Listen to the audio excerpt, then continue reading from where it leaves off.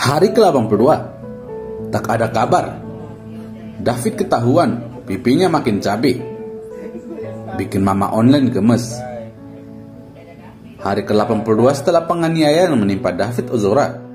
26 hari sudah, David menjalani perawatan di rumah atau home care. Ayah David, Jonathan Latumahina, membatasi untuk tidak membagikan perkembangan David Ozora untuk saat ini di berbagai media sosial. Hal ini ditakutkan ayah Joe dari pihak pelaku memanfaatkan kondisi David terkini untuk memperingan hukuman mereka. Seperti yang kita ketahui, ayah dari Mario Dandi, Rafael Aluntri Sambodo, merupakan orang berduit di negara ini dan pasti akan menghalalkan segala cara untuk membantu memperingan hukuman anaknya Mario Dandi.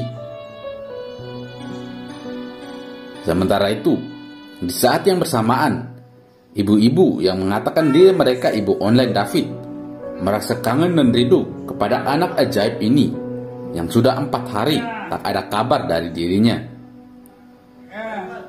Mimin mencoba kasih kabar terbaru dari David.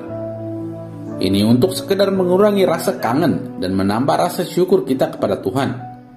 Karena berat badan David sudah naik. Hal ini terlihat dalam video yang diunggah di akun TikTok Anggurman. Nampak David sedang berbincang dengan omnya melalui video call. Tak ada yang tahu apa yang mereka perbincangkan, namun yang pasti, obrolan mereka terlihat sangat asik. Terlepas dari obrolan mereka, semua orang fokus ke pipi David yang semakin hari semakin cabi. Berhubung nafsu makan David juga bertambah, berat badan David juga semakin naik.